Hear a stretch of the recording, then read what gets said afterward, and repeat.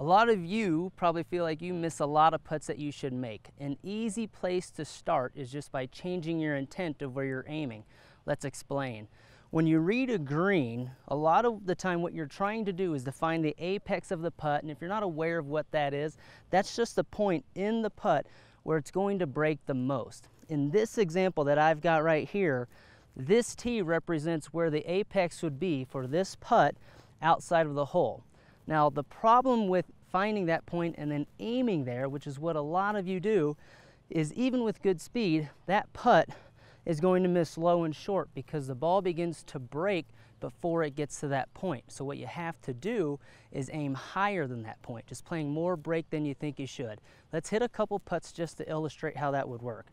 At this, for this putt, what I'm gonna do is go ahead and hit it right at that tee again, which is the apex of this putt.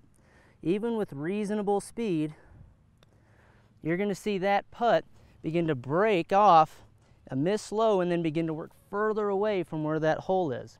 On this one, if I read the same way and just made a better decision of aiming above the apex, let's see how this one would turn out. So that one I hit much higher. Now I still didn't get it there, but I had a much better shot of going in. I would hit a couple more. Let's try it. Let's hit one more, make sure I get this one there. Just aiming right above the apex is all I'm trying to do reasonable speed.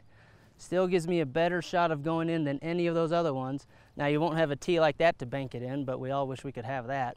So this can be an easy place to start for you. If you want some other help, go find a GOLFTEC near you.